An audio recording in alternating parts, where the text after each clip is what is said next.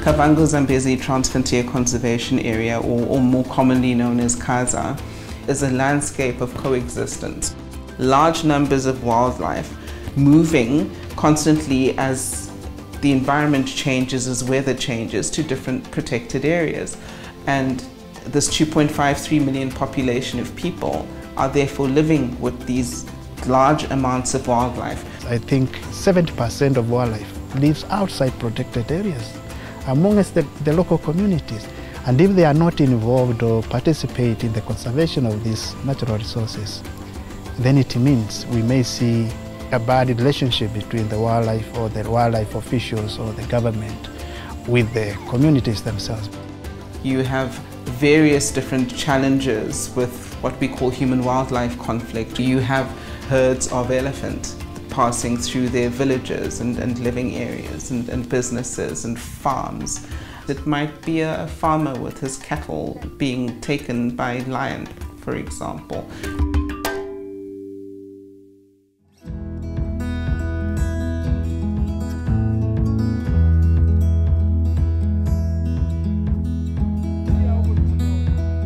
The community conservancy model is the one in which the community resides and they have a zoned area where we have um, grazing lands, where we have farm, farming land, where we have wildlife area.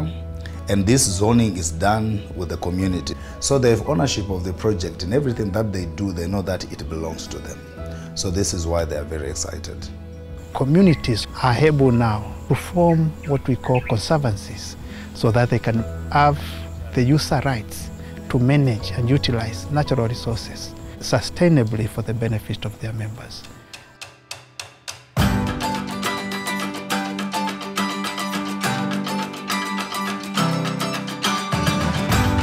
The purpose is just to uplift the livelihood of the community members within a specific area whereby they can generate money through wildlife or through plant products. We are looking at uh, a portfolio of economic activities that would happen within the Conservancy to ensure that the, the Conservancy is sustainable.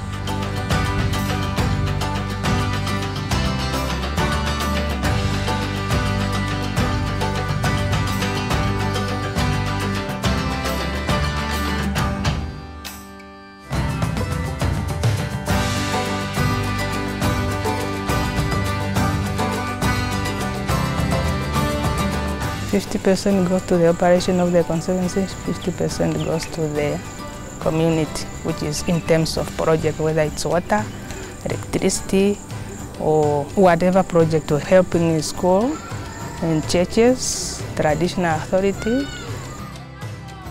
Since 1998, when the first conservancy was gazetted, currently in the Zambezi region, we have 15 gazetted conservancies and one association. Namibia is much advanced with two decades of practice and uh, very good uh, tools uh, to be shared with other countries. So for Zambia and Zimbabwe, we are at a sort of um, in-between stage where there is a good basis, a good commitment at local and country level, and it needs to be consolidated, developed, especially the governance system. We're in a similar situation in Botswana, where again there's a landscape identified and a very good commitment and things need to be now set up and uh, developed to fully establish conservancy.